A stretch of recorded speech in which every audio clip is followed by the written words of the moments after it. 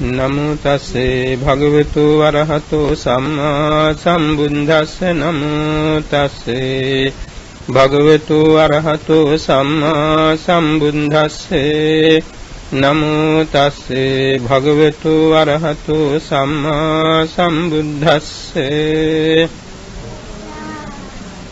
බුද්ධෝපි බුද්දස්ස බණීය වන්නං කප්පම්පි චේ අඤ්ඤම භාසමානු කීයේත කප්පෝ චිර දීඝමන්තරේ වන්නෝන කීයේත තථාගතස්සාති.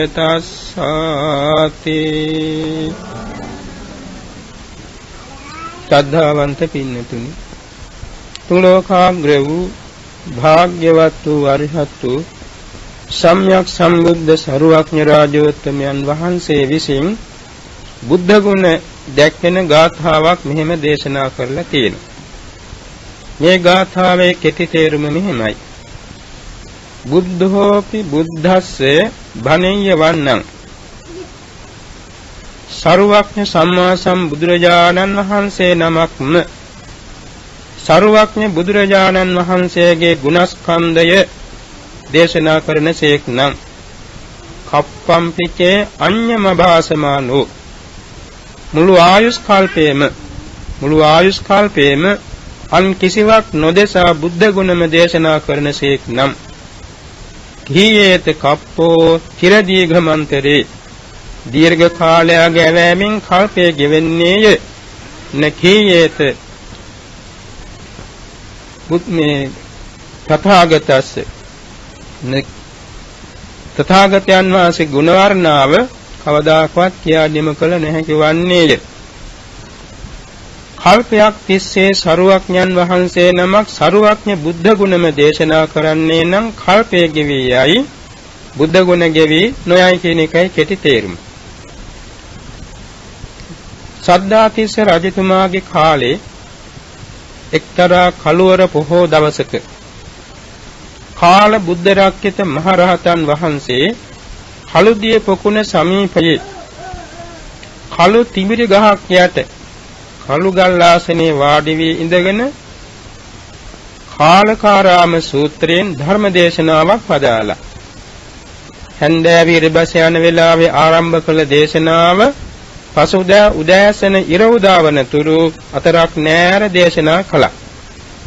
කාලකාරාම සූත්‍රය සරුවක්ඥන් වහන්සේ විසින් දේශනා කොට වදාරා තිබෙන්නේ සවැත් නුවරට සමීප සාකේත නගරයේ කාලකාරාමයෙහිදී කාලක කියන සිටුවරයා විසින් කරවන ලද කාලකාරාමයේ දේශනා කළේ දේශනාවේ බුද්ධ ගුණ ගාම්භීර බුද්ධ ගුණ දැක්වෙන අතර එදා දෙසීමේදී පස් වාරයක් මහා පොළොව කම්පා වෙලා තියෙනවා. ඒ දේශනාව කාල බුද්ධ රක්කිත මහරහතන් වහන්සේ තුන්යම් රාත්‍රියේ විස්තර විවරණ සහිතව දේශනා කළා. එදා ගල්ලෙනකට වී උපෝසත සීලේ සමාදන්ව සිටි සද්ධාතිස්ස රජතුමා දේවාරාධනා ගාථා වැසූ කෙනෙහිම ධර්ම ශ්‍රවණේට බණ පිරිස වෙත ගියා. විශාල පිරිසක් සිටි නිසා පිරිස් කෙළවරට වී හිටගෙන බණ ඇසුව එළිවෙනකම්. දසුන් කෙළවරදී රජතුමා උතුරාල ශ්‍රද්ධාවෙන් මහත් හඬින් සාදුකාර දුන්නා. රහතන් වහන්සේ දැනගත්තා රජතුමාගේ සාදුකාර හඬ. කතා කළා මහරජතුමනි එන්න. කොයි වෙලාවෙද බණ අහන්න ආවේ? අනේ ස්වාමීනි ඔබ වහන්සේ පළමු ගාථාව සජ්ජායනා කරනකොට මං ආවා. මහරජ මේ තුන්යම් රාත්‍රියේ හිටවනක් බණ ඇසීම දුෂ්කර දෙයක් නේද? නැත ස්වාමීන් වහන්සේ මෙහෙම දුෂ්කර දෙයක් නෑ. මේ වාගේ බුද්ධ ගුණ අසන්න ලැබෙනවා නම් එක රැයක් නෙමෙයි මුළු ජීවිතේ මුණත් මම හිතගෙන ස්වාමිනී බණ ටික අහන්නම් මට වෙහසක් දැනෙන්නේ නැහැ. මගේ හිත සමාධිගත වුණා බුදු ගුණ අහගෙන යනකොට. ස්වාමීනි ඔබ වහන්සේ අවකාශ ගංගාව මිහිතලයට හැරෙව්වාසේ අතරක් නෑර අති ශ්‍රේෂ්ඨ බුදු ගුණ ගංගාවක් දේශනා කළා නේද? ස්වාමීනි බුදු ගුණ තවත් ඉතුරු තියෙනවද? මහරජ මා දේශනා කළ ඊටාම ස්වල්ප ප්‍රමාණයක බුද්ධ ගුණයක් ස්වාමීන් උපමාවක් මහරජය සියක් කිරියක වපසරියේ ඇති කුඹුරු යායක එක වී කරලේ යට සුවල්පයි. ඉතිරි වී කරල් වල වැට තව අප්‍රමාණයි. ඒ වාගේ මා දෙසූ බුදුගුණ එක වී කරලක යට සුවල්පයක් වගේ. නොදෙසූ බුදුගුණ සියක් කිරියෙහි ඉතිරි වී කරල් යට වාගේ අප්‍රමාණයි. ස්වාමිනේ තවත් උපමාවක් මහරජ දෙගඩ තලා ගලන ගංගාවකට යම් කෙනෙක් ඉදිකටු මලක් ඇල්ලුවොත් ඉදිකටු මලෙන් ඇතුල් වී පිට වී යන ජලයේ ස්වල්පයි ඉතිරි ජලය අප්‍රමාණයි. එසේ මා දෙසූ බුදුගුණ ඉදිකටු මලෙන් ඇතුල් වී පිට වී යන වතුරසේ ස්වල්ප බුදුගුණ ප්‍රමාණයක් නොදෙසූ බුදුගුණ ඉතිරි ජලයේසේ අප්‍රමාණයි. ස්වාමිනේ තව උපමාවක් මහරජේ අහසේ පියාසර කරන පක්ෂියෙකුගේ පියාපතට යටවන අහස ස්වල්පයි. ඉතින් අහස අනන්තයි. ඒ වගේ මා දෙසූ බුදුගුණ අහසේ පියාසර කරන පක්ෂියාගේ පියාපතට යටවෙන අවකාශයේ ස්වල්පයි. නොදෙසූ බුදුගුණ ඉතිරි අහසසේ අනන්තයි. ස්වාමීනි ගැලපෙන උපමාවක් කියුණා. ස්වාමීනි බුදුගුණ අනන්තයි අවකාශයේසේ ඒ අනන්ත බුද්ධ ගුණ සම්භාරයක් ඔබ වහන්සේ අතරක් නෑර දේශනා කළා. මේ දේශනාව ප්‍රමාණ කළ නොහැකි තරම් ආනිසංස ඇති දේශනාවක් මේ දේශනාවට මට වෙන ධර්ම පූජාවක් මේ අතේ නෑ ස්වාමීනි මේ 300ක් පුදුම් වට ප්‍රමාණ ඇති ශ්‍රී ලංකාද්වීප පොළව රාජ්‍යය මේ ධර්ම දේශනාවට මම පූජා කරනවා කියලා ලංකා රාජ්‍යයෙන් පූජා කළා. පස්සේ ඉතින් මහරහතන් වහන්සේ රජතුමාට අනුශාසනා කරලා ලංකා රාජ්‍ය අපසු බාර දුන්නා. මේ වාගේ දේශනා තුලින් පැහැදිලි වෙනවා බුද්ධ ගුණ අනන්ත බව. ඒ අනන්ත බුද්ධ ගුණයන් සම්පින්දණය වී තියෙනවා බුදු ගුණ පාඨයක් ඉතිපිසෝ ගාථා පාඨේ නමි. බෞද්ධයන් වශයෙන් කුඩා දරුවෝ පවා මේ ගාථා පාඨය නිතර දන්නවා කියවනවා. හැබැයි මේ ගාථා පාඨයේ තේරුම් අභ්‍යන්තරයට බහැලා බැසුවොත් බැලුවොත් අනන්ත ලෝක ධාතු වල පැතිරී පවත්නා තරම් අනන්ත බුද්ධ ගුණ සම්භාර මෙහි ඇතුළත් වී තියෙන බව පැහැදිලි වෙනවා. මේ ගාථාවේ කියුණානේ කල්පයක් තිස්සේ සරුවක්ඥන් වහන්සේ නමක් වෙන කිසිවක් නොදෙසා බුදුගුණම දේශනා කරන සේක් නම් කල්පයේ ගෙවි යනවා බුදුගුණ ගෙවි අවසන් වන්නේ නැහැ කියලා. එතකොට එතෙන්දි සඳහන් කරන්න තියෙන වැදගත් කාරණයක්. අපවැන්නෙකු එකවරක් අරහං කියන කෙටි කාලය තුල ආනන්ද ස්වාමීන් වහන්සේට පුළුවන් අට වාරයක් අරහං කියන්න. අට වාරයක් අරහං කියන්නේ නැත්නම් අපි එක වචනයක් කියනකොට ආනන්ද ස්වාමීන් වහන්සේට වචන 8ක් කියන්න පුළුවන්. ආනන්ද ස්වාමීන් වහන්සේ එක වචනයක් කියන කෙටි කාලය තුල ලෝතුරා බුදුරජාණන් වහන්සේට පුළුවන් වචන 16ක් කතා කරන්න. එතකොට අපවන්නේ එක වචනයක් කියන කෙටි කාලයේදී සරුවක්ඥන් වහන්සේට පුළුවන්කම තියෙනවා වචන 128ක් කියන්නේ. 16 වරක් 8 128යිනේ. 128 වචනයක් කියන්න පුළුවන් අපි එක වචනයක් කියන කෙටි කාලය තුල. හේතුව සරුවක්ඥන් වහන්සේ අති දීර්ඝ කාලයක් ඒ කියන්නේ සාරා සංඛේය කල්පලක්ෂයක් සොලසා සංඛේය කල්පලක්ෂයක් විෂයා සංඛේය කල්පලක්ෂයක් තිස්සේ පිරු වාක් සුචරිතානුභව බලයෙන් තමන් වහන්සේට පිහිටා තිබුණා අති ශ්‍රේෂ්ඨ වූ වාක් කෞසල්‍යයක් වචන කුසලතාවක් උන්වහන්සේගේ නාභි මණ්ඩලයේ පටන් ස්වරෝච්චාරණ ඉන්ද්‍රියන් දක්වා වාත පිත්සෙම් ආදීන් කිසිදු බාධාවක් නැහැ. සුවිසුද්ධයි ශ්වාස නාලේ ස්වර නාලේ එවැගේම ජීවහා ධාතුව දිග පුලුල් තුනේ ජීවහා ධාතුවක් නිසා ඊටාම සුවසේ දිව හසුරවන්න පුළුවන්. දෙතොල කිසි බරක් නැතුව බොහොම පහසුවෙන් විවර කරන්න වහන්න තියන්න පුළුවන්. ඒ වගේම සිංහ රාජයෝගේ යටි හනු වගේ හනු යුගල දෙකම හනු යුගලයේම දෙහනුවම 12ක් චන්ද්‍රරාකා ශේකාවක් වගේ කවාකාරයි. එනිසාම දන්ත පන්තියක 20ක් 20ක් බැගින් සම 40ක් දන්තයන් පිහිටා තියෙනවා. අල්පනීති තුඩක් තරම්වත් සිදුරක් නැති හැටියට දන්ත පන්ති දෙක රිදී පටක් වාගේ පිහිටා තිබෙනවා. මුතු යට පෙලක් වාගේ බොහෝම සිනිඳු බොහෝම ප්‍රසන්න දන්තපන්. එනිසා උන්වහන්සේට වාත පිත සම්මාදී පරිබෝධයක් නැති නිසා ස්වරනාලයේ සවිසුද්ධ නිසා දන්තපන්තේ සුපස්සිත නිසා, දෙතල සුපස්සිත නිසා, ජීවා ධාතුව තුනී බැවින් දිගු බැවින් එවැගේම මුරුදු බැවිනුත් උන්වහන්සේගේ චිත්තසංතානයෙහි ජවන ප්‍රවෘත්ති අති ශීඝ්‍ර බැවිනුත් අපවැන්නේකෝ එක වචනයක් කතා කරන කෙටි කාලය තුල වචන 128ක් දේශනා කරන්න තරම් වචී කෞසල්‍යතාවක් තියෙනවා.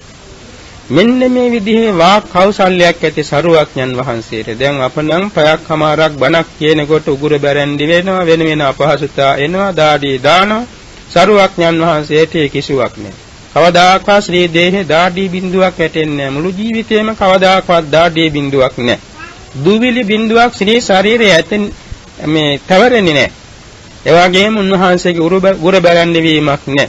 උන්වහන්සේට තාම ප්‍රසන්න වූ අෂ්ටාංග සමන්වාගත බ්‍රහ්මස්වරයක් තිබුණා. බ්‍රහ්මස්වරයේ අෂ්ටාංග සමන්වාගතයි. විස්සට්ඨ මංජු විඤ්ඤයෝ සවනීයෝ විසාරිනෝ බින්දු ගම්බීර නින්නාදිත්තේව මට්ටංගිකෝ සරෝ කියන මෙන්න මේ අංග 8කින් යුක්ත වූ ස්වර සම්පත්තියක් බ්‍රහ්මස්වරයක් තිබුණා. බ්‍රහ්ම කියන්නේ ශ්‍රේෂ්ඨ කියන එකයි. බ්‍රහ්ම රාජයාගේද කතා කිරීමේදී බ්‍රහ්ම රාජාටද මේ වාතිපික සම්මාදී බාධාවක් නිසා ඔහුගේ වචනේ බොහෝම සුවිසුද්ධයි. ඊට වඩා සත සහස්‍ර ගුණෙන් සරුවක්ඥන් වහන්සේගේ වචනේ සුවිසුද්ධ බැවින් ඒ ස්වරයට කියනවා බ්‍රහ්මස්වරය කියලා. අනිකේ සරුවක්ඥන් වහන්සේ නිකරුණේ වචනයක් ප්‍රකාශ කරන්නේ නැහනේ. තුන් කල්යල් බලා අසූවන්ට ලොවේ ලෝතුරා සුව සලසා දෙන වචනයක්මයි සරුවක්ඥන් වහන්සේ දේශනා කරන්නේ. එනිසා උන්වහන්සේගේ වචන විලාසය අති විශිෂ්ටයි. විශ්සට්ට කියන්නේ වචන හොඳට පිට වෙනවා. වචන හොඳින් පිට වෙනවා උන්වහන්සේගේ. මඤ්ඤු කියන්නේ බොහොම මිහිරි. වචන බොහොම මිහිරි. විඤ්ඤයෝ කියන්නේ අහන්නන්ට හොඳට පැහැදිලි. අහන්නන්ට හොඳට වැටහෙනවා. ශවණීයෝ කියන දෙසවනට බොහොම අමාවක් වගේ මිහිරි. ශවණීයෝ. විසාරිනෝ කියන්නේ හොඳ හැටි උන්වහන්සේගේ උච්චාරණේ තියෙනවා. බින්දු කියන්නේ වචන සම්පින්දණයකුත් තියෙනවා. දැන් සමහර විට අකුරු එක අකුරක් එක තැනක තව අකුරක් එක තැනක වචන කියන්නේ හරියට ඒ වචනෙට ගැළපෙන අකුර ඒ විදිහටම සම්පින්දණය වෙලා කියවෙන. බින්දු ගම්බීර කියන්නේ හරියට අකුණු කොටන වෙලාවේ හෙන හඬක් වාගේ ගාම්භීර ස්වරයක් තියෙනවා. නින්නාදී කියන්නේ කුරවි කෙවිල්ලන්ගේ නාදේ වගේ. හිමාල වනාන්තරයේ කුරවි කෙවිල්ලන් මීපැණි වාගේ මිහිරි මී අඹ පැණි රස පානය කළා යම්කිසි අඹ ගහක යට අතේ දෙගෙන නාදයක් කළා උඩ අතට ගිහින් අහනවා. ඒ තරම් මේ නාදය පැතිරෙනවා නින්නාද සහිතයි. ඒ වාගේ ශරුවක්ඥන් වහන්සේගේ වචනයේහිද නාදේ නින්නාද සහිතයි. මෙන්න මේකේ අංග 8කින් යුක්ත වූ බ්‍රහ්මස්වරයකින් ඒ සරුවක්ඥන් වහන්සේගේ දේශනා ස්වરૂපයේ පවතිනවා. උන්වහන්සේ අදිෂ්ඨාන කරතොත් දස දහසක් වලට එක හඬින්ම ඒ දේශනාවට සවන් දෙන්න පුළුවන් ඕන කෙනෙකුට. දැන් අර ධම්මචක්කප්පවත්තන සූත්‍ර දේශනාවේදී බරණැස් නුවර සමීපයේ ඉසිපතනාරාම මිගදායේ ඉඳගෙන දේශනා කළේ. ඒ දේශනාව දස දහසක් වලට එක හඬින් ඇහුණා. අඩුපාඩුවක් නැතුව දැන් වෙන කිනුවගේ ශබ්දය ඈතට යනකොට යනකොට ඇහෙනවා අඩුයිනේ. එහෙම නෑ. සක්වල දසදහසක් කෙලවර දක්වා එක හඬින්ම ඒ දේශනෙට සවන් දෙන්න පුළුවන් වුණ ඕනෑම කෙනෙකුට. ඒ නිසා නේද අසංකේයයක් පිරිස ඒ ඒ තැන්වල ඉඳගෙන මාර්ගඵල නිවන් අවබෝධ කරගත්තේ. මෙන්න මේ විදිහේ දේශනා කෞශල්‍යයක් ඇති සරුවක්ඥන් වහන්සේද මුළු කල්පයේ මුළුල්ලෙහිම බුදු ගුණම දේශනා කරතත් බුදු ගුණ අවසන් වන්නේ නැහැ කියන එක මෙයින් පැහැදිලි. ඒ නිසා අපට වෙන වෙන කිසිවක් නැතත් බුද්ධ ගුණ අනන්තයි බුදු ගුණ අනන්තයි බුදු ගුණ අනන්තයි කියලා මේක සියවර දහස්වර දස දහස්වර සිහි කරනවා නම් එයින්ද අපේ හිත සමාධි කරගන්න පුළුවන්. ඒක සත්‍යක්‍රියාවක් වශයෙන් කරන්න පුළුවන්. සර්පේ දෂ්ට කළත් බුදු ගුණ අනන්තයි කියන එක 108 වරක් කිව්වනම් සර්පයාගේ විස බහැලා යනවා. වසවිසක් යවන නම් බුදු ගුණ අනන්තයි කියලා ඒකම කියව කීවා ඒ වසවිස මේ ඉවත් කරන්න පුළුවන්. රෝගයක් ආබාධයක් වුණත් බුදු ගුණ අනන්තයි කියන එක කියව කීවා ඒ රෝගයට ප්‍රතිකාර කොට සුවපත් කරන්න පුළුවන්. අමනුෂ්‍යයෙක් වුණත් අමනුෂ්‍යයෙක් ඉස්සරහටම ආවත් බුදු ගුණ අනන්තයි කියන එක කියලා ඔහු පළවා හරින්න පුළුවන්. හපන්දෙන සුනකයෙකුට උනත් බුදු ගුණ අනන්තයි බුදු ගුණ අනන්තයි කියනකොට සුනකයා ආපස්සට යනවා. මේ වාගේ හෙනාඩක් පුපුරන වෙලාවේ අකුණක් පුපුරන වෙලාවේ බුදු ගුණ අනන්තයි සිහි කළා නම් ඒ අකුණු නිවාරණය වෙනවා. මේ වාගේ ගමනක් පිටත් වෙනකොට බුදු ගුණ අනන්තයි කියන එක බොහෝ වරක් හිතින් කියවලා පිටත් වෙනවා නම් මාර්ග අනතුරු නැතුව ගමන යනවා. මේ වාගේ අනන්ත අප්‍රමාණ ආනිසංස නෙලා ගන්නට මේ අනන්ත බුද්ධ ගුණ මාත්‍රේ සිහි කළ පමණින් පුළුවන් වෙනවා කියන එක නොඑක් හේතු කාරණු සාධක සහිතව අපට පැහැදිලි කරන්න පුළුවන්. දැන් ඊළඟට අපි සලකා බලමු. මේ අනන්ත බුද්ධ ගුණයන් සම්පින්දණය වේ තියෙන ඉතිපිසෝ පාඨයේ තියෙනවා භගවා කියන ශ්‍රේෂ්ඨ ගුණයක්. එයි අපි මුලින්ම කියන්නේ ඉතිපිසෝ භගවා කියලානේ. මේ භගවා කියන ගුණය මුළු බුද්ධ ගුණ සම්භාරයේතම සාධාරණ වචනයක්. භගවා මේ භගවා කියන ගුණය පිළිබඳව සාරිපුත්‍ර මහා රහතන් වහන්සේ ඊටාම විසිතුරු දේශනාවක් මහා නිද්දේශ පාළියේ දේශනා කළා තියෙනවා. ඒ කරුණු ටිකක් අපි මෙතෙන් ඉදිරිපත් කරනවා. මොකද අපට බුදුරජාණන් වහන්සේගේ පිහිට හැර අන් පිහිටක් ලෝකේ කොහෙවත්ම නැහැ. ඒක නිසා බුදුරජාණන් වහන්සේගේ පිහිට යම් තාක් අපි ලබා ගන්නවා නම් බුදුගුණ අපි දැනගෙන තියෙන්නට ඕනේ. බුදුගුණ දන්නා දන්නා පමණට අපට සරුවක්ඥන් වහන්සේ පිළිබඳව ගෞරවය, භක්තිය, විශ්වාසය පිහිටන නිසා ඒ සරුවක්ඥන් වහන්සේගේ පිහිටෙන් අපේ දෙලව දියුණුවක් නිවන් ගමන සුවසේ සාදා ගන්නට පුළුවන් වෙනවා.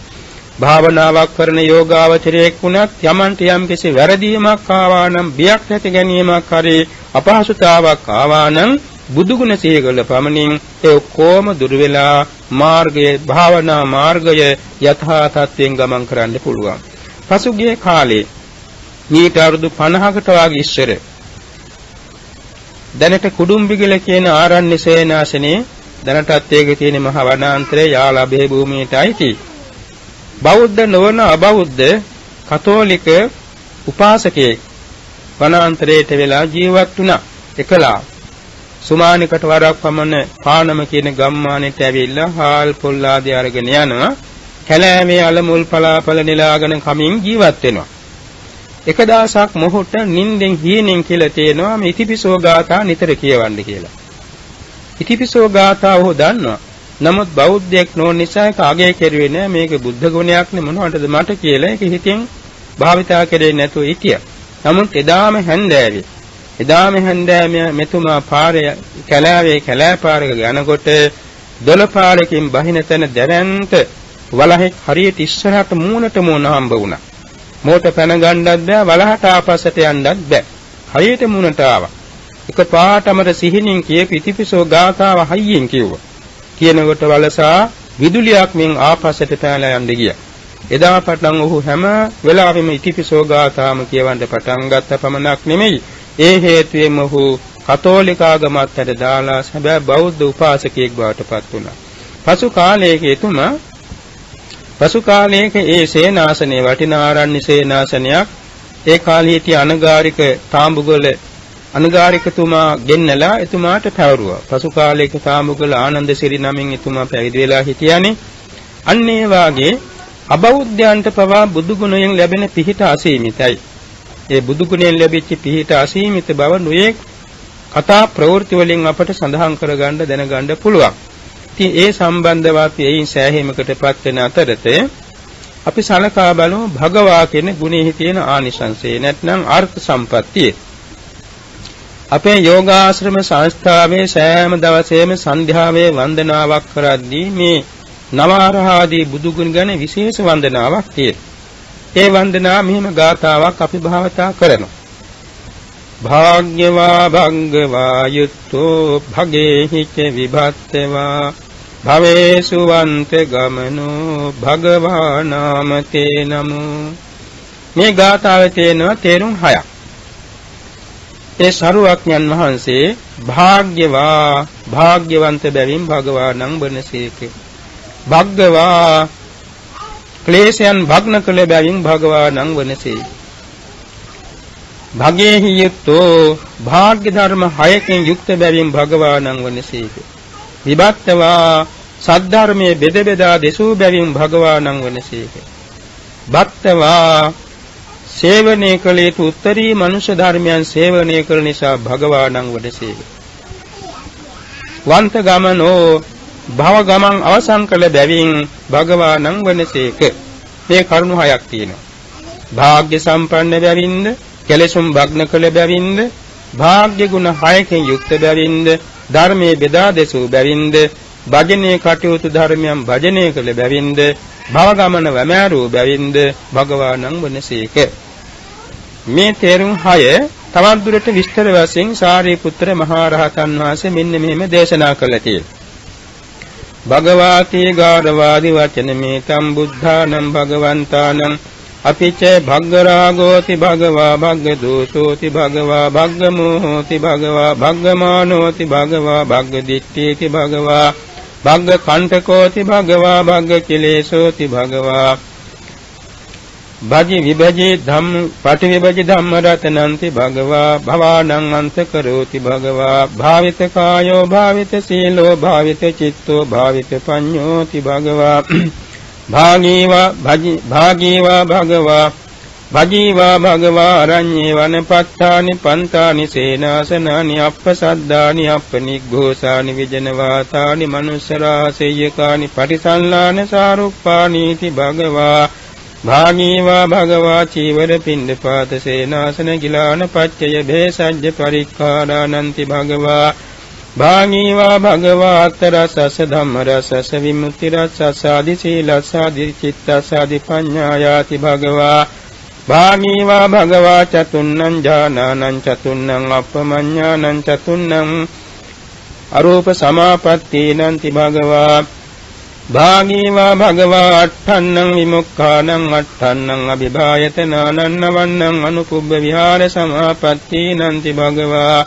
භාගීවා භගවා දසන්නං සංඥා භාවනානන්ද සන්නං කසින සමාපත්තීනං අසුභ සමාපත්තිය ආනාපාන සති සමාධිස්සාති භගවා භාගීවා භගවා චතුන්නං සතිපට්ඨානානං චතුන්නං සම්මප්පදානානං චතුන්නං ඉද්ධිපාදානං පංචන්නං ඉන්ද්‍රියානං පංචන්නං බලානං සත්තන්නං බොජ්ජංගානං අරියස්ස අට්ඨංගිකස්ස මග්ගාසි භගවා භාගීවා භගවා දසන්නං තථාගත බලානං චතුන්නං වේසාරජ්ජානං චතුන්නං පටිසම්භිදානං චන්නං බුද්ධ ධම්මානං චන්නං අභිඥානන්ති භගවා භගවාතේනේ තන්නාමං මාතරා කතන්න පිතරා කතන්න භාතරා කතන්න භගිනියා කතන්න ඥාදිශාලෝ හිතේ කතන්න මිත්තා මච්චේ කතන්න සමන බ්‍රාහ්මණී කතන්න දේවතායි කතං විමුක්ඛන්තික මේතම් බුද්ධානම් භගවන්තානම් බෝධියා මූලේ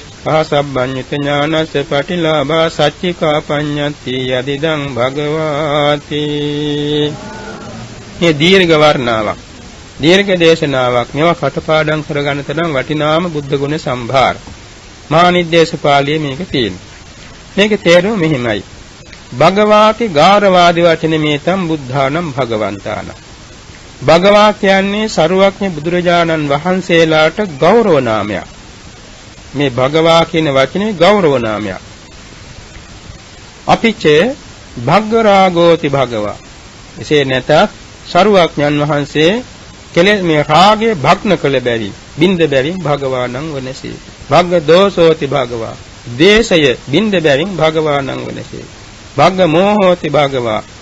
මෝහය බිඳලෝ බැරින් භගවානං වනසේ. භග්ග මානෝති භගවා. මාන්නේ බිඳලෝ බැවින් භගවානං වනසේ භග්ග දිට්ඨීති භගවා.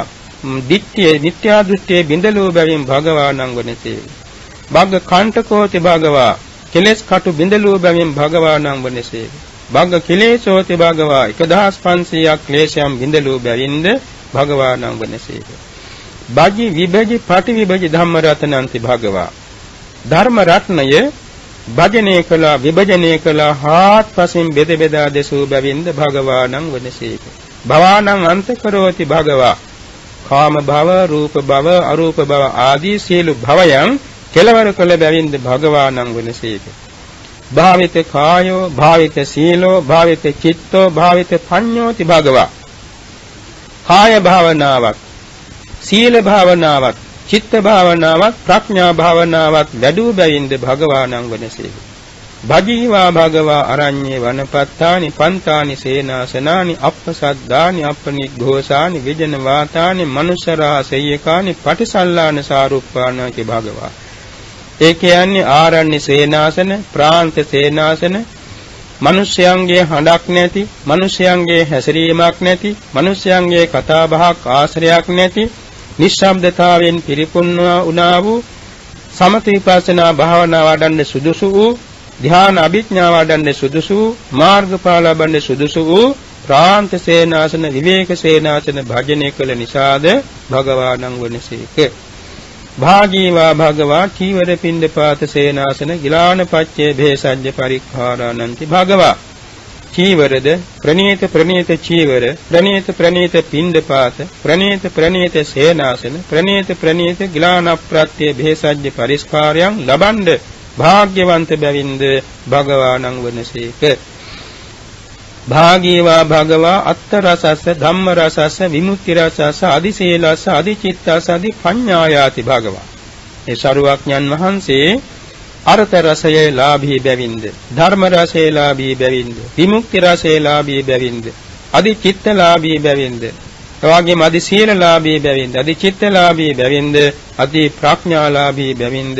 භගවානං වනසේක භාගීවා භගවා චතුන්නං ඥානානං චතුන්නං අප්පමඤ්ඤානං චතුන්නං අරූප සමාපත්තීනන්ති භගවා. ඒ ශරුවක්ඥන් වහන්සේ රූපාවචර ධාන සතර ලැබූ බැවින්ද? බ්‍රහ්ම විහාර ධාන සතර ලැබූ බැවින්ද? අරූප සමාපatti සතර ලැබූ බැවින්ද? භගවානං වනසේක. භාගීවා භගවා අට්ඨන්නං විමුක්ඛානං අට්ඨන්නං අභිභායතනානං නවන්නං අනුකුබ්බ විහාර සමාපත්තීනන්ති භගවා. අෂ්ට විමෝක්ෂ කියන ධ්‍යානලාභී බැවින්ද? අෂ්ට අභිභායතන කියන ධ්‍යානලාභී බැවින්ද? නව අනුපූර විහාර සමාපatti කියන ධ්‍යාන සමාපත්තිලාභී බැවින්ද භගවානං වෙනසේක. භාගීවා භගවා දසන්නං සංඥා භාවනානං. දසන්නං කසින සමාපත්තේනං. ආනාපාන සති සමාධිස්ස අසුභ සමාපත්තියාති භගවා. දස සංඥා භාවනාලාභී බැවින්ද භගවානං වනසේක. දස කසින සමාපත්තිලාභී බැවින්ද භගවානං වනසේක. දස අසුභ සමාපත්තිලාභී බැවින්ද භගවානං වනසේක. ආනාපාන සති සමාධිලාභී බැවින්ද භගවානං වනසේක. භාගීවා භගවා චතුන්නං සතිපට්ඨානානං සතර සතිපට්ඨානලාභී බැවින්ද භගවානං වනසේක. චතුන්නං සම්මප්පදානානං සතර සම්‍යක්පදානලාභී බැවින්ද භගවානං වනසේක. චතුන්නං ඉද්ධිපාදානං. සතරක් වූ ඉරිදිපාදයන් ලාභී බැවින්ද භගවානං වනසේක. පංචන්නං ඉන්ද්‍රියාණං පංච ඉන්ද්‍රිය ධර්මයන් ලාභී බැවින්ද භගවානං වනසේක. පංචන්නං බලාණං පංච බල ධර්මයන් ලාභී බැවින්ද භගවානං වනසේක. සත්තන්නම් බොජ්ජංගානං සත්ත බොජ්ජංගලාභී බැවින්ද භගවානං වනසේක. අරියස අට්ඨාංගිකස්ස මග්ගස්සාති භගවා ආර්ය අෂ්ටාංගික මාර්ගලාභී බැවින්ද භගවානං වනසේක. භාගීවා භගවා දසන්නං තථාගත බල ඥානානං. තථාගත ඥාන බල 10ක් ලාභී බැවින්ද භගවානං වනසේක චතුන්නං වේසාරජ්ජානං විසරද ඥාන සතරක් ලාභී බැවින්ද භගවානං වනසේක චතුන්නම් පටිසම්භිදානං ප්‍රතිසම්භිදා ඥාන සතරලාභී බැවින්ද භගවානං වනසේක. චන්නම් බුද්ධ ධම්මානං බුද්ධ ධර්ම සයක්ලාභී බැවින්ද භගවානං වනසේක. චන්නම් අභිඥානං අභිඥා හයක්ලාභී බැවින්ද භගවානං වනසේක. භගවාති නේතන් නාම මාතරා කතං. භගවා කියන මේ නම මහා මායා මෞබිසුන් වාසේ තබූ නමක් නොව. නැ පිතරා කතං සුදවුන් මහරජතුමාණන් තබූ නමක් නොව. නැ බාතරා කතං නන්ද ආනන්දාදී සහෝදර කෙනෙක් ලැබූ නමක් නොව. දැන් භගිනියා කතං රූපනන්දා ජනපද කල්යාණී ආදී සහෝදරී කෙනෙක් ලැබූ නමක් නොව. දැන් ඥාති සාලෝහිතේ කතං මව්පස ඥාතීන් විසින් පියපස ඥාතීන් විසින් ලැබූ නමක් නොව. න මිත්තා මච්චෙහි කතං හිතමිතුරන් ලැබූ නමක් නොව. න සමන බ්‍රාහ්මණෙහි කතං ශ්‍රමණ බ්‍රාහ්මණයන් ලැබූ නමක් නොව. න දේවතායිකතන් දෙවියන් බ්‍රහ්මයන් නාග සුපර්ණාදීන් ලැබූ නමක් නොව. විමුක්ඛන්තික මේතම් බුද්ධානම් භගවන්තානම් බෝධියා මූලේ සහ සම්බන්්‍යත ඥානස පටිලාභා සත්‍තිකා පඤ්ඤති. ශරුවක්ඥන් වහන්සේ බොමෙඩාරා වැඩ ඉඳගෙන සපරිවාර මාර පරාජය කොට යම් අලුයම් කාලයකදී දසදහසක් වල කම්පා වෙද්දී සතර මඟ ඵල පිළිවෙලින් ගොස් අරිහත් මලක්තේ අරිහත් ඵලයටපත් වූසේක් නම් ඒ විමෝක්ෂාන්ත කියන අරිහත් ඵලයටපත් වෙනකොටම මේ උතුම් භගවා කියන ගුණ නාමයේ පිහිටියා කියන එකයි මේ ගාථාවේ සූත්‍ර පාඨේ තේරුම. දැන් මේ කරුණු රාශියෙන් අපට පැහැදිලි වෙනවා භගවා කියන මේ අකුරු තුනේ මොන තරම් ගැඹුරු තේරුම් පෙළක් තියෙනවද? මේ වගේ තමයි එක එක ගුණයක් අරහං ගුණය ගත්තත් එහෙමයි. සම්මා සම්බුද්ධෝ ගුණය ගත්තත් එහෙමයි. නව මහා ගුණ එක එකක් ගුණයක් පාසා බැලුවාම අර්ථ රසයෙන් ධර්ම රසයෙන් ගාම්භීරත්වයට පත් වී තියෙනවා බුද්ධ ගුණ. මේවා අපි එකින් එකට වටහා ගන්නවා නම් අපි බුද්ධං සරණං ගච්ඡාමි කියන්නේ කොයි විදිහේ ශාස්ත්‍රුන් වහන්සේ නමකට දෝ කියලා බලවත් ප්‍රසාදය ඇති වෙනවා. අවීචේ පටන් භවග්‍රේ දක්වා හිවි ගැවසී පවත්නා වූ දසදහසක් සක්වල කෙල ලක්ෂයක් සක්වල අනන්ත සක්වල පැතිර පවත්නා වූ අනන්ත ගුණ සම්භාරයක් ඇති සරුවක්ඥ රාජෝත්තමයන් වහන්සේට නේද අපි මේ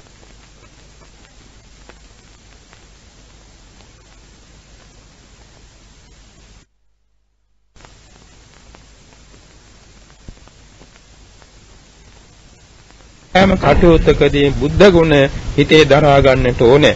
ගමනක් යන්න පිටත් වෙන්න ඉස්සර අපි බුදු ගුණ ආවර්ජනා කළ ගමන පිටත් වෙන්නට ඕනේ. උදේ අවදි වෙනකොටම වෙන කිසිවක් නෙමෙයි බුද්ධ ගුණ ආවර්ජනා කරගෙන හිතේ අවදි වෙන්නට ඕනේ. නිදා ගන්නකොට වෙන කිසිවක් නෙමෙයි බුද්ධ ගුණ ආවර්ජනා කරගෙන නිදා ගන්නට ඕනේ. වැඩක් පටන් ගන්නකොට වෙන කිසිවක දෙයකට වඩා පළමුවෙන් බුද්ධ ගුණ ආවර්ජනා කරලා ඒ වැඩ පටන් ගන්නට ඕනේ. මේ විදිහට තමන්ගේ මුළු දවසේ සෑම කටයුත්තකදීම යටත් පිළිසෙන් බත් පිටක් අනුභව කරනකොටත් බුදු ගුණ සිහි කරගෙන බත් පිට අනුභව කරන්න ඕනේ. වතුර ටිකක් පැම්පහස වෙනකොටත් බුදු ගුණ සිහි කරන පැම්පහස වෙන්න ඕනේ. මේ වාගේ දාස පුරා සෑම කටයුත්තකදීම අපට බුදු ගුණ සිහි කරගෙන බුදු ගුණ සිහියෙන් කටයුතු කරන් ලැබෙනවා නම් අපේ හෘදේ సంతානෙහි ලෝතුරා බුදුරජාණන් වහන්සේ වැඩ ඉන්නා හා සමානව අපට දැනෙන්න පුළුවන්. එවාගේ මේ බුදු ගුණ ආවර්ජනා කරගෙන කටයුතු කරන්නාගේ సంతානියෙහි හැම විටම බිය තැති ගැනීම සංසිඳෙනවා. ප්‍රීති සෝමනස්ස බහුල වෙනවා. හැම විටම ප්‍රීතියෙන් සෝමනසින් ඉන්න කෙනෙක් වෙනවා. දුක් දුම්නස් ඉවසන්නේක් බාටපත් වෙනවා. බිය තැති ගැනීම නැති කෙනෙක් වාගේ දුක් දුම්නස් නැති කෙනෙක් හා ඉවසන සමත් කෙනෙක් බාටපත් වෙනවා. එවාගෙම තමන්ගේ සිතේ හරියට සරුවක්ඥ ධාතුන් වහන්සේලා තැන්පත් කළ ධාතු කරඬුවක් වගේ තමන්ගේ సంతානය පූජනීයත්වයටපත් වෙනවා. ඒ වගේම මොනවා හරි පාපයක් කරන්න කරුණක් ඉදිරිපත් වුණා නම් මෙන්න බුදුරජාණන් වහන්සේ ඉස්සරහා ඉන්න වගේ හිතට මැවී පෙනී ගිහින් ඒ පාපෙන් වළකිනවා. සමාහට බුදුබා පතන්න පවා හිත නැමෙනවා. ඒ වගේම භාවනා වඩන්න ගියා නම් ඊටාම සාර්ථකව භාවනා කරගන්න පුළුවන් වෙනවා. සීලයක් රකින්න ගියත් ඊටාම සාර්ථකව සීලය රැක ගන්න පුළුවන් වෙනවා. බුදු ගුණ වර්ජනා කරමින් ගොවිතැනක් කළා නම් ශාස්ත්‍රීය අස්වන්නක් නෙලා ගන්න පුළුවන් වෙනවා. කුඩා දරුවන් අදන දෙමව්පියෝ බුදු ගුණ වර්ජනා කරමින් දරුවන්ගේ වත් පිළිවෙත් කරනවා නම් ඒ දරුවෝ නිරෝගී බවටපත් වෙලා යහතින් ජීවත් වෙනවා. මේ වාගේ හැම කටයුත්තකදීම අපි බුදු ගුණ ඉස්සරහට ගන්නට ඕනේ. මේ බුදු ගුණ භාවනාව ඊටාම වැදගත් වෙන. දැන් මේ එක ගුණයක් අරගෙන ඒ ගුණයම නැවත සිය දහස් වර සිහි කර කර සිහි කර කර හිටියක් එයින් බුදු ගුණ භාවනාවක් වැඩෙනවා. පින්නතුන් අහලා තියෙනවා නේද? අපි බුදුරජාණන් වහන්සේ රජගහනුවර වැඩ ඉන්න දිනක වේළුවනාරාමේ සිද්ධියක්. ඒ කියන්නේ වේළුවනාරාමයේ බුද්ධ ප්‍රමුඛ සංඝ රත්නයේ වැඩ ඉන්න කාලයේ විහාරස්ථාන 18ක් ඒ රජගහනුවර සමීපයේ ඇති වුණා. භික්ෂූන් වහන්සේලා දහස් ගණන් වැඩ හිටියා. එක්තරා වීතියක සෙල්ලම් කරන වයසේ දරු දෙන්නේ එක දරුවෙක් බෞද්ධයෙක් එක දරුවෙක් අබෞද්ධයෙක්. මේ දරු දෙන්න සෙල්ලමට කැට ගහන ක්‍රීඩා පුරුදු කරගෙන හිටියා. ඉතින් මේ දෙන්න විනෝදෙන් කැට ගහන වෙලාවේ කැට ක්‍රීඩා කරන වෙලාවේ බෞද්ධ ළමයා නිතරම නමෝ බුද්දස්ස කියලා කැටේ වීසි කරන්නේ හැම වෙලාවෙම මේ දරුවා දිනනවා. අනිත් දරුවා කියන්නේ නමෝ අරහන්තානම්. එයාට අදහන්නේ නිගණ්ඨනාත පුත්‍රයන් වැනි රහත් කෙනෙක්නේ. නම වරහන්තානං කියලා කැටේ වීසගමුන්ට පරදිනවා. පසුව මේ අබෞද්ධ ළමයාත් හිතුවා මාත් මේක පාඩම් කරගන්න ඕනේ කියලා නමෝ බුද්දස්ස කියන එකෙන්ම කැටේ වීසි කරනවා. දැන් දෙන්නටම සමානව ජය පරාජය ලැබෙනවා. මේ අබෞද්ධ ළමයා හරියම දුප්පත්. ඒ දරුවාගේ දෙමව්පියෝ ජීවත් වන්නේ දර විකුණලා.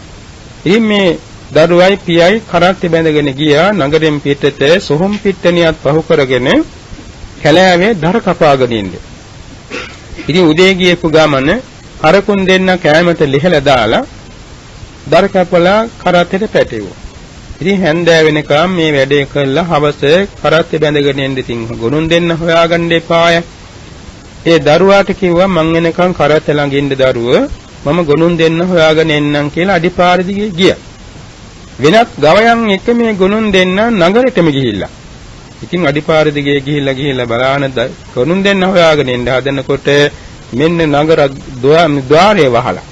දැන් පිට වෙන්න බෑ නගරෙට කොටු වුණා. දරුවාතර මං උනාර සොහොන් පිට්ටනියේ සමීපයේ වනාන්තරේ.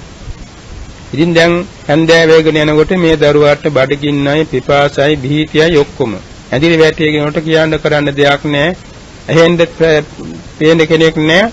අර කරත්තේ යටට වී නිදාගත්ත ගෝණි ගෝණියට යට මේ ගෝණිය තියෙනවානේ කරත්තයට බඩු දාගන්න මේකට වෙලා වකුටු වෙලා නිදාගත්තා. හැබැයි සීතලයි මිහිම් බයයි ඉඳ හිට නිින්දත් යනවා ඉත හිට අවදිත් වෙනවා නිකම් බීතියෙන් හිටියා. ඉතින් පියාට ගෙදර නිින්දක් නැහැ. අයි දරුවා අනාථයිනේ දැන් මේ මහා සොහොන් පිට්ටනියක් සමීපයේ මොන අනතුරු වේ දන්නේ නපුරු සතුන් ඉන්නවා නපුරු අමනුෂ්‍යෝ ඉන්නවා. ඒ මිනිසයා ගෙදරට කොටු වෙලා එළි වෙනකන් අවදියෙන් දුකෙන් හිටියා. ඔය අතරත රාත්‍රී මැදියම් කාලේ ගොදුරු සයාගෙනව අමනුෂ්‍යෝ දෙන්නේ එයින් එක අමනුෂ්‍යයෙක් සම්මාදිට්ඨිකයි පස්පව් කරන්නේ නැහැ. එක අමනුෂ්‍යයෙක් මිත්‍යා දෘෂ්ටිකයි නපුරුයි. මේ නපුරු මිත්‍යා දෘෂ්ටි අමනුෂ්‍යයා අර අනිත් එක්කෙනාට කිව්වා අද නම් රශ්මි පිටින් ගොදුරක් තියෙනවා. කිව්වා එහෙම අල්ලන්න යන්න හිම්පා. ඒ දරුවා සමාට බුදු ගුණ දන්න කෙනෙක් වෙන්න පුළුවන්. ඒ නිසා කවදාකවත් අත තියන්න එපා එන්න එන්න අපි වෙන ගොදුරක් හොයාගෙන යන් කියලා අඳගාගෙන ගියා. නමුත් මේ බෞද්ධ අමනුෂ්‍යයාට නොපෙනෙන්ද අර අබෞද්ධ නපුරු දුර්දාන්ත අමනුෂ්‍යයාගෙන් දරුවාගේ කකුල ඇල්ලුවා. ඉතින් අඩනින්ද වගේ හිටියේ මේ දරුවෝ එකපාරටම අර සෙල්ලමට පුරුදු කරපු නමෝ බුද්දස්ස කියන වචනේ කිව්වා. මේක එකතරයක් නේ බොහෝ වාරයක් කියවෙන්නේ නැති. නමෝ බුද්දස්ස නමෝ බුද්දස්ස කියලා බයෙන් ඉන්නේ. මේ කියනකොටම බුද්ධ කෙනෙකුගේ මේ වචන නිසා අමනුෂ්‍යයා තෙජස්සිලා වීසි වෙලා බියටපත් වෙලා දඟල් මේ වෙවුලන්න ගත්තා. මේක දැක්ක අනිත් එක්කෙන. දැකලා කිව්වා මේ නිසා තමයි මම අල්ලන් දෙපා කිව්වේ මේ දරුවා බුදු ගුණ දන්න දරුවෙක්. දැන් ඉතින් මේ වරදට දඬුවම් විඳින්න ඕන. නැත්නම් වෛශ්‍රණ දිව රාජයාගෙන් නෝරදවාම දඬුවම් තමුන්ට ලැබෙනවා. නිසා වහාම මේ දරුවා රැක ගන්නට ඕනේ. මේ දරුවාට ආරක්ෂා සලසන්න ඕනේ කියලා දෙන්නම මව්පිය වෙස්යෙන් මැවී පෙනී ගියා. මව්පිය වෙස්යෙන් ඉස්සරහට ආවා. දැන් ඉතින් දරුවාගේ බයක් නෑ අම්මා තාත්තා ආවනේ. ඉතින් අර වරද කරපු අමනුෂ්‍යයාට කිව්වා ගිහින් රජ්ජුරුවන්ගේ රජ්ජුරුවන් මේ වඩන හන්තලියටම රාජභෝජන ගේන්න කියලා. කෑම. ඉතින් අමනුෂ්‍යයාට අහසින් යන්න පුළුවන් නේ. රජ්ජුරුවන්ගේ රාත්‍රියේහි ඉතිරි ආහාර තිබුණා. ඒ රන්තලියට රාජභෝජන බෙදාගෙන ගෙනල්ලා මේ දරුවාට කැවුවා මව්පියන්ගේ හැටි. ඉතින් මේ දරුවා ආහාර ගත්තා. ආහාර නිදාගත්තා. එලි වෙනකම් මේ අමනුෂ්‍යෝ දෙන්න ගියේ නෑ වෙන උදුරක් නොවෙනු පිණිස ආරක්ෂා කරන නීතිය. හැබැයි මේ රන්තලියේ පිටපැත්තේ අකුරු පෙළක් ලිව්වා මේ සිද්ධිය රජුරවන්ට පෙනේවා කියලා. උදේ එළිය වැටෙනකම් මේ දෙන්න ඉඳලා ඉතින් අතුරු දහන් වෙලා ගියා. එළිය වැටෙනන් පස්සේ දරුවාට බයක් නැහෙනි. ඔය අතරේ තින් නගරද්්වාරයේ අරිනකන් ගේට්ටුව ළඟටම වෙලා හිටියේ පියතුමා. දොර අරපු ගමන් ඉතින් ගොනුන් දෙන්නත් අරගෙන ආවා මේ කරත් තිනතන සොයාගෙන. හැබැයි සැකෙන් බයෙන් ආවේ. දරුවාට මොනවා වෙලා ඇද්දෝ කියලා. නමුත් මෙන්න තාත්තා එනකොට පුතා ඉස්සරහට ඇවිල්ලා hina වෙලා පිළිගත්තා. ඉතින් ඒ පියාට පුදුම සැනසෙල්ලක්. ඉතින් එහෙම කොහොම කොහොමද දරුවා ඊයේ රාත්‍රියේ නිදාගත්තද මොකුත් බයක් එහෙම නැද්ද? ඇයි තාත්තා යම්මයි මට ඇවිල්ලා කෑම දුන්නනේ. මං දන්නේ එච්චරයි. මම උතර නිදාගත්තා. ඉතින් මේක කතා කර කර ආවා. එතකොට මෙන්න රජගෙදර රන්තලිය හොයනවා රජුරන්ට උදේ මේ වඩන රන්තලිය නැතු. රාජපුරුෂෝ නානා දිසා භාගයන් ඇවිදවිද සොයනවා. ඉතින් මේ කරත්තේන මාර්ගයේ යන රාජපුරුෂයාට පෙනුන කරත්තේ උඩ මේ රන්තලියක් දිලිසි දිලිසි තියෙනවා. බැලුවම රජුරන්ගේ රන්තලිය. ඉතින් කරත්තයත් එක්කම මේ පියයි පුතයි දෙන්න රජවාසයට කැඳවගෙන ආවා. රජුරන්ට රන්තලිය දුන්නාම සැබවින්ම අර පිටපැත්තේ ලියලා තිබුණු අකුරු පෙළ හරියට පැහැදිලිව පෙනුණා. මේ රාත්‍රී කාලේ අමනුෂ්‍යයන් දෙන්නෙකු විසින් මේ කුඩා දරුවාට අහසින් ඇවිල්ලා මේ රාජභෝජනත් අරගෙන සන්තලියෙන් කැම දුන්නා. ඒ දරුවාගේ වරදක් නෙමෙයි. මේක අමනුෂ්‍යයන් කරපු වැඩක් කියන එක ඒකේ ලියලා තිබුණා. ඒකේ කියලා තිබුණා මේ බුදුගුණ බුදුගුණ කියම නිසා මේ සිද්ධිය වුණේ කියලා. පස්සේ රජුරෝ මේ දෙන්නට බොහෝම සැලකිල්ලෙන් කෑම බීම සංග්‍රහ කරලා දෙන්නම එක්කාසු කරගෙන ගියා වේළුවනාරාමයට. ගිහින් බුදුරජාණන් වහන්සේට වැඳලා මේ ප්‍රවෘත්ති කිව්වා. අසාසිතියා ස්වාමීනි සොහොම් පිට්ටනීකාරී මහවණේකාරී ඕනෑම තැනක සැපසේ නිදන්ඩ සැපසේ අවදි වෙන්න මේ බුදු ගුණ තරම් වෙනත් දේවල් තියෙනවද එතකොට ශරුවක්ඥන් වහන්සේ කරුණු හයක් දේශනා කළා එයින් පළමුවෙන්නේ බුද්ධ ගුණ සුප්පබුද්ධං පබුඤ්ජಂತಿ සදා ගෝතම ශාවකා. යේසන්දි වාච රත්තෝ ච නිච්ඡං බුද්ධගතා සති. යම් බෞද්ධේ පෑදාවල් නිතර බුදුගුණ සිහි කරනවා නම් ඒ බෞද්ධයා සැපෙන් නිඳනවා සැපෙන් අවදි වෙනවා කියන එක ගාථාවෙන් දේශනා කළා. ඔයගේ ගාථා හයක් සුප්පබුද්ධං පබුද්ධಂತಿ සදා ගෝතම ශාවකා යේසන්දි වාච රත්තෝ ච නිච්ඡං ධම්මගතා සති යම් බෞද්ධේ පෑදාවල් දෙකේ නිතර ධර්ම ගුණ සිහි කරනවා නම් ඒ තැනත්තාද සැපසේ නිදා සැපසේ අවදි වෙනවා. සුප්පබුද්ධං පබුද්ධಂತಿ සදා ගෝතම ශාවකා। යේසන්දි වාච රත්තෝ ච නිච්ඡං සංඝගතා සති. යම් බෞද්ධයෙක් නිතර තෑදාවල් දෙකේ සංඝගුණ සිහි කරනවා නම් ඒ තැනැත්තාද සුවසේ නිදා සුවසේ අවදි වෙනවා. සුප්පබුද්ධං පබුද්ධಂತಿ සදා ගෝතම ශාවකා. යේසන්දි වාච රත්තෝ ච නිච්ඡං කායගත සති. යම් බෞද්ධයෙකුට රෑ දවල් දෙකේ කායගත සතිය නිතර භාවිතා වෙනවා නම් ඒ තැනැත්තෝද සැපසේ නිදා සැපසේ අවදි වෙනවා. සුප්පබුද්ධං පබුද්ධಂತಿ සදා ගෝතම ශාවකා යේසං දේවාච රත්තෝ ච අහිංසාය රතෝ මනෝ යම් බෞද්ධයෝගේ సంతානයේ නිතර කරුණාව භාවනා වශයෙන් පුරුදු වෙනවා නම් කරුණා භාවනා පුරුදු කරනවා නම් ඒ තැනත්තාද සැපසේ නිදා සැපසේ අවදි වෙනවා. සුප්පබුද්ධං පබුජ්ජಂತಿ සදා ගෝතම ශාවකා.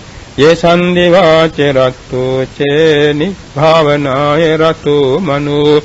යම් බෞද්ධයෝගේ సంతානේ මෛත්‍රී භාවනාව නිතර පිහිටා තිබෙනවා නම් ඒක නැත්තාද සැපසේ නිදා සැපසේ අවදි මේ ගාථා හයෙන් දේශනාවක් පැවැත්වුවා. ඒ දේශනාව සානයේදී බෞද්ධයන් වූ මේ පියයි පුතයි දෙන්නාම සෝවාන් මාර්ගඵල නිවන් අවබෝධ කරගත්තා. පසුදාසක මේ කුඩා දරුවා බුදුසසුනේ පැවිදි වුණා සියලු කෙලෙස් නැසා අරිහත්ත්වයටපත් වුණා. උන්වහන්සේගේ හඳුන්වන්නේ නම භූතපාල ඉස්තවරයන් වහන්සේ. භූතපාල රහතන් වහන්සේ. මේකයි නම.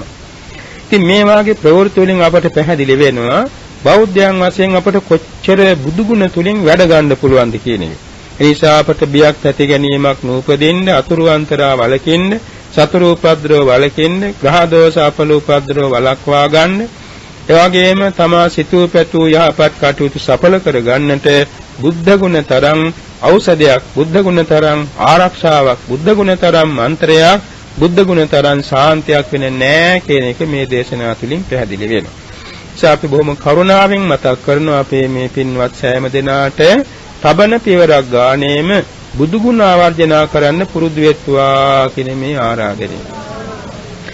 එදා සරුවක්ඥන් වහන්සේ මේ දේශනේ පැවැත්වුවා. එතකොට එදා ඒ මව් පියයි පුතයි දෙන්න අතින් මඟඵල නිවන් ලබා ගත්තා. සාරිපුත්‍ර මහරහතන් වහන්සේ අර විස්තර විවරණ දේශනේ පැවැත්තුවා. දැන් මේ පද එකක් එකක් ගාන විස්තර කරනවා නම් හිත උදේ එළි වෙනකන් කියන්න කරුණු තියෙනවා. ඒ තරම් කාලයක් අපි ගන්නේ නැහැ මේ කෙටියෙන් මතක් කළේ භගවා කියන ගුණ මාත්‍රයේහි මොනතරම් ගම්බීර අර්ථ සම්භාරයක් සම්පින්දණය වී තියෙනවද කියන එක තේරුම් ගන්නයි. එනිසා එදා සරුවක්ඥන් වහන්සේ දෙසූ මේ බුදු ගුණ යම් කෙනෙක් නිතර නිතර භාවිතා කරනවා නම් ඉස්සර වෙලා කෙරෙන්නේ බුදු ගුණ අරමුණේ සිත පහදිනවා. සිත පහදිනකොට චිත්ත ඡායසිකයන් දෙකම පහදිනවා. චිත්ත ඡායසිකයන් දෙක පහදිනකොට චිත්ත ඡායසිකයන් පිහිටා තිබෙන පහළවන හෘද වස්තු රූපේ පිරිසුදු වෙනවා. පහදිනවා. හෘද වස්තු රූපේ ප්‍රසන්න වෙනකොට ලේ ධාතුව පිරිසුදු වෙනවා. ලේ ධාතුව පිරිසුදු වෙනකොට සකල ශරීරයේම ලේ පැතිරී යාමෙන් පිරිසුදු ලේ පැතිරී යාමෙන් රෝගාබාධ සුව වී ශරීරයේ වර්ණය පැහැපත් වෙනවා. නිරෝගී රූප කලාප පහළ වීම නිසා ආයුෂ වැඩි වෙනවා. ශරීර වර්ණය වැඩි වෙනවා. ශරීර සැපය වැඩි වෙනවා. කාය බලය වැඩි වෙනවා. ප්‍රඥා බලය වැඩි වෙනවා. එපමණක් නෙමෙයි. ඒ නිසාම සිත පිරිසුදු වීම නිසා කාය නිරෝගී වීම නිසා සැපෙන් නිදෙනවා. සැපෙන් අවදි වෙනවා. නපුරු සීන නොපෙනී යනවා. දෙවියන්ගේ ප්‍රසාද ලැබෙනවා. මිනිසයන්ගේ ප්‍රසාද ලැබෙනවා. දෙවියන්ගේ ආරක්ෂාව ලැබෙනවා. එවාගෙම ශරීර වර්ණයේ මුහුණේ වර්ණයේ පැහැපත් වෙනවා. වසවිස අවියාවුද ගිනි මේ විපත්ති වලකිනවා. හිතේ සමාධි ශක්තිය වැඩි වෙනවා. මරණ ආසන්න මොහොතේ මන සිහිනුනේ යුක්ත වෙනවා. ආයු කෙලවරේ කාන්තේ සුගති ලෝකයේ උත්පත්තිය ලබනවා. බුදුගුණ වැඩූ කෙනෙක් කවදාකවත් පිටසක්වලයක උපදින්නේ නැතුව මේ මංගල සක්වලයේම උපදිනවා පාරමී පුරා ගන්න. බුදුගුණ වැඩූ කෙනෙක් සසර ගමනේදී නිවන් දකින්නතු කවදාකවත් මිසදුටු කුලයක නූපදී සම්‍යා දෘෂ්ටික කෙනෙක් බවට පත් වෙනවා. මිසදුටු කුලයක උපන්නත් සම්මා දිට්ඨියම පිහිටා සිටිනවා. බුදුගුණ භාවනා කරන කෙනෙක් කවදාකවත් අංග විකල නොවේ පරිපූර්ණ ශරීර අවයව ඇතුව සෝභමාන ශරීර ඇතිව උපදිනවා. බුදුගුණ වැඩූ කෙනෙක් සසරදී කවදාකවත් පාපි මිත්‍ර සේවනයකට නොවැටි කල්යාණ මිත්‍ර සම්පත්තියම ලැබනවා. බුදුගුණ වැඩූ කෙනෙක් සසර ගමනේදී කවදාකවත් මුඛ රෝගයක් හටගන්නේ නැතුව උම්මත්තක මන්ද බුද්ධික වෙන්නේ නැතුව බොහොම වාසනාවන්ත බුද්ධිමන්ත කෙනෙක් බවට පත් වෙනවා. බුදුගුණ භාවනාව පුරුදු කරපු කෙනෙක් සසර ගමනේදී මහා කාශ්‍යප මහ රහතන් වහන්සේ වගේ තමන් වෙත සරුවක්ඥන් වහන්සේලා පහළ වූ කාලයක නම් සරුවක්ඥන් වහන්සේලා තමන් වෙත වඩිනවා. ඒ වගේම බුද්ධ ගුණ භාවනා පුරුදු කරපු පුජ්‍යලයා සසර ගමනේදී ගම්බීර අර්ථයන් ගම්බීර ධර්මයන් අවබෝධ කරගන්න ඥාන සම්පන්න වෙනවා. ඒ වගේම සරුවක්ඥන් වහන්සේ නමක් දුටු කෙනෙහිම ප්‍රසාදයටපත් වී ධර්ම ශ්‍රවණය කරලා තමා පැතුවේ රහත් බෝධියක් නම් ඒ රහත් බෝධිය සාක්ෂාත් කර ගැනීමෙන් සතර මඟ ඵල පිළිවෙලෙන් අමා මහ නිවන අවබෝධ කර ගන්න. පසේ බුද්ධත්වයේ පතාගෙන ගියා නම් පසේ බුදු බවත් ලෝතුරා බුද්ධත්වයේ පතාගෙන ගියා නම් ඊට පාරමී සම්පූර්ණ වූ දවසේ ලෝතුරා බුදු බවක් ලබා ගන්න මේ බුදුගුණ භාවනාව හේතු කොනිශ්‍රේ වෙනවා. අපේ රටේ ඉස්සර වැඩිහිටි දෙමව්පියෝ නිතරම බුදුගුණ වඩන බව අපි අහලා තියෙනවා. බුරුම රට, තායි රට වැනි තේරවාද බෞද්ධ රටවල හරියට බුදුගුණ වඩනවා. ලොකු කොඩා සෑම දිනම බුදුගුණ භාවනා කරන සෑම විහාරස්ථානයකම පොදුවේ භාවිතා කරන්න නාගුණ වැල් තියලා තියෙනවා. ඉතින් ඇවිල්ලා ඇවිල්ලා සිය ගණන් දහස් ගණන් පිරිස එක්කාසු වෙලා බුදුගුණ වඩනවා. සජ්ජායනා කරනවා, හිතින් මෙනෙහි කරනවා. මෙන්න මේක නිසා බුදුගුණ වඩන පින්නතුන් වැඩි වැඩි තරමට බුදුරජාණන් වහන්සේගේ පිහිට ලබා ගන්න පුළුවන්. ඉතින් අපේ මේ පින්වත් සෑම දෙනාම ඒ අතින් වාසනාවන්තයි. අද මේ පින්නතුන් පැමිණ සිටින්නේ දවස පුරාම ආගමික පින්කම් වල යෙදී ජීවිතයේ උසස්ම පාරමී පුණ්‍ය නිධානයක් නිදාන් කර ගැනීම පිණිසයි. එතකොට සරුවක්ඥ සම්මා සම්බුදුරජාණන් වහන්සේ විශාසංකේය කල්පලක්ෂයක් මුළුල්ලේ පාරමී පුරා මෙයින් අවුරුදු 2586 කොත් මාස 8කට පෙර බෝමුලාරා වැඩ ඉඳගෙන සපරිවාර මාර පරාජයකට ලෝතුරා බුදුබාටපත් වී වදාලා 45 අවුරුද්දක් මුළුල්ලේ ලොවට අමාදහම් වැසි වස්ස වෙලා සූවිසි අසංකේය 60 කෝටි 50 ලක්ෂයක් පමණ දෙනා ජීවමාන කාලයේ නිවන් පුර පමනවලා සුවාසෝදාසක් ධර්මස්කන්ධයේ දේශනා කොට වදාර අදිෂ්ඨාන කොට තබා මෙයින් අවුරුදු 2542කට පෙර අනුපාදිශේෂ පරිනිර්වාණ ධාතුවෙන් නිවන් පුර වැඩියා. දසදහසක් ලෝක ධාතු ඒකාලෝක කළ මිනිපානක් මෙන් ඒ ශ්‍රී දේහේ පවා නිවි ගිය. එවාගෙම තමන් වහන්සේ වැඩ සිටි විහාරස්ථාන රාජධානි උයන් පුකුණු මාලිගා නෂ්ටාවශේෂ වුණා. රහතන් වහන්සේලා පිරිණිවුණා. ආර්යයන් වහන්සේලා සුගතිගාමී වුණා. සෙතු ජනතාව සුවකී කර්මාරූපව පරලෝ ගියා. මේ වාගේ හිත ඇති හිත නැති සෑම සංස්කාර ධර්ම එනම් මේ ඉරාඳ තාරකා මහා පෘථිවි මහා මේරු පර්වත මහා සාගර වැනි විශාල වස්තු ගෙවල් දොරවල් ඉඩකඩම් යාන වාහන ඇඳුම් පැළඳුම් මිලමුදල් ආදී පාරිභෝගික වස්තු කෑමෙන් බීමෙන් ඇඳීමෙන් පැළඳීමෙන් බතෙන් බුලතෙන් බෙහෙතෙන් හේතෙන් පරිහරණය කරන අපේ මේ ශරීර කූඩු හිත ඇති හිත නැති සෑම සංස්කාර ධර්ම ඇතිව නැතුව යන බැවින් අනිත්‍යයි. ඇති වෙන්නේ නැති වෙන දෙකෙන් නිරතුරු පෙළෙන බැවින් දුකයි. කැමැති කැමැතිසේ නොපවට්නා බැවින් අසාර නිස්සාර බැවින් අනාත්මයි. එවාගේම අපරිසුදු බැවින් අසුබයි. පිළිකුල් බැවින් අසුබයි. මෙසේ අනිත්‍ය දුක්ඛ අනාත්ම අසුබ ස්වභාවයෙන් යුක්ත වූ සංස්කාර ධර්ම ඒකාන්තයෙන් පීලන සංකත සන්තාප විපරිණාම ස්වභාවයෙන් යුක්ත වන බැවින් දුක්ඛාරි සත්‍යයි දුක නැවත නැත උපදවන ආයෝහන නිදාන සංයෝග පරිබෝධාර්ථයෙන් යුක්ත තෘෂ්ණාව දුක්ඛ සමුදයාරි සත්‍යයි දුක සමුදයක් නැති නිස්සරණ විවේක අසංක තමතාර්ථයෙන් යුක්ත නිර්වාණ ධාතුව දුක්ඛ නිරෝධ සත්‍යයි නිවන ආબોධ කර ගැනීමට වැඩි යුතු නීයාන හේතු දර්ශන ආධිපතේ ආර්ථයෙන් යුක්ත වූ ආර්ය අෂ්ටාංගික මාර්ගය මාර්ග සත්‍යයි අනන්ත පරිමාණ බුදු පසේ බුදු මහා රහතන් වහන්සේලා අති දීර්ඝ කාලයක් විරූ දාන ආදී පාරමී බෙලින් මේ ආර්ය සත්‍ය හතර අවබෝධ කරගෙන අජරාමර ශාන්ත අමා මහ නිවනෙන් සැනසීමටපත් වුණා.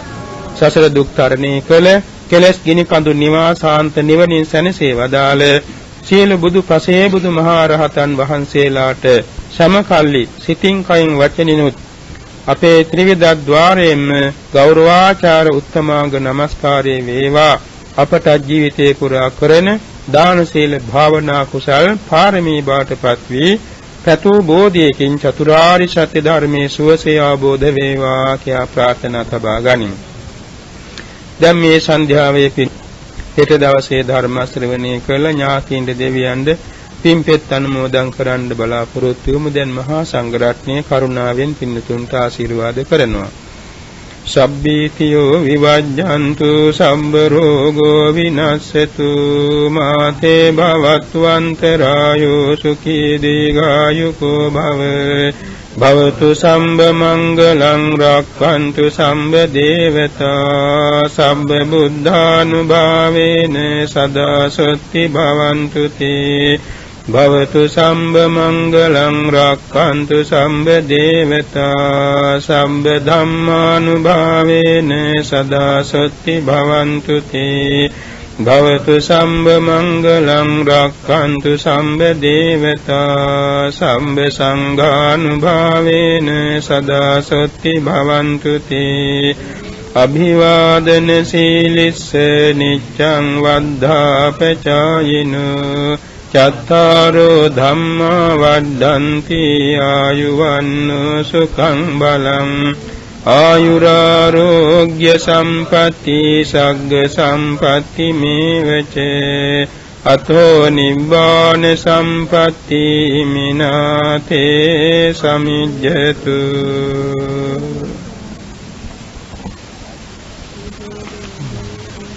සුපත්ති. සාදු සාදු අනුමෝදන්. සාදු අනුමෝදිතම්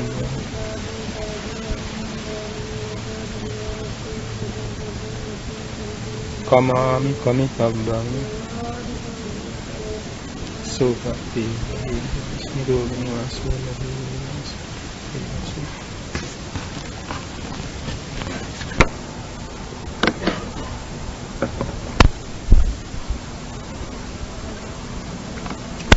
එකසිය විසිහය නමක් හිටියා. සාමණේර පිරිසක් එක්ක 140ක් පමණ වෙන්න ඇති. ඒ වගේම උපාසක මහත්තුරු, ඒ වගේම විශ්වවිද්‍යාල ශිෂ්‍යවරු, රාජ්‍යල සී නෑනවරු ඒ ඒ ආට කොටස් වෙන් කළ තියෙන එක පොඩේ නෙමෙයි. ඒකට මේ සියල්ලම එක්කාසන 300කට වැඩි ප්‍රමාණයක්. ඒ ගරු ස්වාමීන් වහන්සේගේ භාවනා කමඨාන්තන බොහොම ආදර්ශමත්. අපි ලංකාවේ බොහෝ දෙනා සමාහිත භාවනාවනේ ඒ කසල වඩන්නේ සමත භාවනා වඩන්න ධ්‍යාන භාවනා වඩන්න කොහොම අන්තරාවල් වැඩි කියලා මොනම අන්තරාවක් නැහැ මේ ස්වාමීන් වහන්සේ උපදෙස් දෙනවා කියලා. බොහොම ඉන්නවා දියුණුවටපත් යෝගාවචය. ආනාපාන සතියෙන් පටන් ගන්න. ආනාපාන සති කර්මස්ථානයෙන් පටන් ගෙන ඒක යන ධ්‍යාන හතරක්ම. ඊළඟට ධාතු සහකාර ධ්‍යාන 32ක් උපදවනවා. ඊළඟට සමත භාවනා 32ක් උපදවනවා. ඊළඟට විපස්සනා භාවනා 32ක් උපදවනවා. ඊළඟට ඕදාත පසල අට්ඨික සංඥාවෙන් ඕදාත පසලන්න ඕදාත ධ්‍යාන හතරක් උපදවන. ඊළඟට මෛත්‍රී ධ්‍යාන 528ක් උපදවන. ඊළඟට දස අසුභ ධ්‍යාන 10ක් උපදවනවා. තවත් අලතුලෙන් දස පසල ධ්‍යාන උපදවනවා. එයින් නවතින්නේ නැහැ තවත් අලතුලෙන් බ්‍රහ්ම විහාර ධ්‍යාන සියල්ල සම්පූර්ණ කරලා අරූප සමාපatti කරගන්නවා. ඊළඟට විදර්ශනාට හරිනවා. ඒ විදිහට සමහර උපාසකා මව්වරු පවා දහසෙන් අරගෙන අත්තු සමහර උපාසකා මව්වරු පවා ඒලයින් ධ්‍යාන සමාධි සමාපatti උපදවලා විදර්ශනා ලබලා මුදුනටම ගියාය ඉන්නවා. ඒක අපේ ලංකාවට ඒ වගේ වාසනාවන්තයිනේ බුදුම රටට වඩා වාසනාවන්තයි ලංකාව. ඒ රට වාසයෙන් ලංකාව ගැන කියන්නේ පුදුම ගෞරවයක්. ලංකාවේ උපදින්න මහා පුණ්‍යවන්තයෝ කියලා මේ බුරුම රටවාසී බෞද්ධයෝ කියන්නේ. ඒ මොකද ලෝකේ කොච්චර රටවා තිබුණා ලෝතුරා බුදුරජාණන් වහන්සේ තුන් වාරයක් වැඩම කරවලා දාලා ශ්‍රී ලංකාවට. පරිවාරයෙන් පසුව ලෝතුරා බුදුරජාණන් වහන්සේ පිටදී වදාළ බෝධීන් වහන්සේ ලැබුණ ලංකාවට. අසම්පූර්ණ සාරවත්ත ධාතු පස් නමක්ම වැඩි වෙන ලංකාවේ. එතන බුදුරජාණන් සියදුවේ ද්‍රෝණයක් සරුවත් දාතන් වහන්සේලා වැඩි වෙන ලංකාවේ පමණයි. තුලන්ලි මාසයි. ඊපට ගානේ ලියවන්නේ ලංකාවේ පමණයි. අටකතා ලියවන්නේ ලංකාවේ පමණයි. මේ හැම දෙයකින්ම ශ්‍රී ලංකාව තුලෝකයේම ගරුකටයුතු පූජනීය කටක් දාටපත් වෙනවා. ආකාශයේ ඇඟිල්ල දික් කර කියන්ත බැරි තරම් මේ ස්වාමීන් වහන්සේ තමයි අධිගම ලබා නැත්තේ කියන්ත බැරි තරම් ලංකාවේ අධිගම ලාභීන්ගෙන් පිළි තිබුණා. ඒ කාලේ 100ට 100ක් බෞද්ධ ආගම වලට පිළිසෙ කියා. ඉතින් රටවලින් පවා ලංකාවට ඇවිල්ලා පරිදේලා ධ්‍යාන භාවනා වඩලා කෙලෙස් නැස අරහත්ත්වයට පත් කියනවා. මේ හැම ආකාරයකින්ම ශ්‍රී ලංකාව වාසනාවන්තයි. අදවලත් ඒ වාසනාව බෞද්ධයන්ට තියෙනවා. ලංකාවාසී බෞද්ධයන්ට තියෙන ඒ වාසනාව ලෝකේ කාටවත් නිසා බෞද්ධයන් වශයෙන් අපි බොහෝම උද්‍යෝගී ලක්ෂණයෙන් ප්‍රතිඵල නිරන්ත කටයුතු කිරීම වටිනවා. නිසා මේ කොඩකන්ද විවේක සේනාසනයේ පවත්වාගෙන යන ආගමික වතාවත් තුළින් මේ සේනාසනයේදීම අපේ සිල්වත් ගුණවත් බුද්ධ පුත්‍රයන් වහන්සේලාට එවැගේම සිල්වත් ගුණවත් මේ දායක මහතුරු මවුරු දූ දරුවන්ට මේ බුදු ශාසනයේ මේ විදිහේ සීල සමාධි ප්‍රඥා තේසෙන් ගුණ වඩාගෙන ඥාන සමාධි සමාපatti උපදවාගෙන විපස්සනා ඥාන වඩාගෙන මඟඵල නිවන්සව සාක්ෂාත් කරගන්නට ආස්ථාව සැලකේවා කියලා අපි ප්‍රාර්ථනා කරනවා. එදා ඒ මේ මහා බෝධිසත්වයන් වහන්සේ අපට ශක්ති සකත්තල රාජ්‍ය පරදමා පරිස්පරිද්දෙන් පරිදෙවි. ඥාන භාවනා වඩා බමලෝ උපන්න.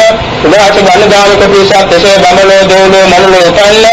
පසු කාලයකදී මේ මහා බෝධිසත්වයන් වහන්සේ සිද්ධාර්ථ ගෞතම නමින් කාලේ විශ්‍රම වන්ති වසරේදී පරිදිවි.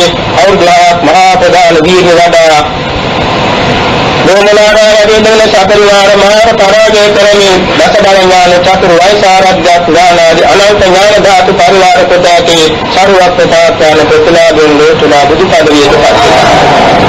එතකොට පාද්‍යම් පිරුවාවෝ පිරිස බුදු පිරිස බවට පත් වෙලා කෙලෙසුන් වල අතමෙදී ශාන්ත නිවන් සෝය සැලසුණා. ඒ සර්වඥයන් වහන්සේ 45 අවුරුද්දක් පුරුන්නේ ලෝකවාසීන් පිරිත සෝතුනිස සෝවාසෝදා සද්ධර්ම ස්කන්ධේ දේශනා කළා. කලපාරමී පිරෝපාරමී ඇති ජනතාවට මේ ශූන්‍යසා සංකේ 60 කෝටි 50 ලක්ෂයක් දෙනා අමා මහ නිරටපත් වුණා. අවුරුදු 5000 බුදු සසුන පවතින අධිෂ්ඨාන කොට තථාගතයන් වහන්සේ දසදහසක් ලෝක ධාතු ඒකාලෝකයෙන් වැඩලුම නිපානක් නෙවෙයි ගියක් මේ පිළිනුණා. තාතන් වහන්සේලා පිළිනුණා. ආර්යයන් වහන්සේලා ස්වර්ගස්ත වුණා. රජලති අමිති ආදී ජනේ ජනතාව ස්වකීය කර්මාරෝපේ කරලෝ සපත් වුණා. වැඩි විහාරස්ථාන දසරණ රාජධානි දුයන්තතුන මාර්ගාද සියල්ල නස්තාවශේෂ වුණා. මේ වාගේ ඉරාද කාරකා මහා පෘථිවි මහා මේරු පර්වත මහා සාගරයේ විශාල වස්තු නිරෝධන ඉදකඩ යාන වාහනෙන් පළඳ මිල මුදල් ආදී පාරිභෝගික වස්තු සෑමෙන් දීමෙන් ඇදීමෙන් පළඳීමෙන් වේකෙන්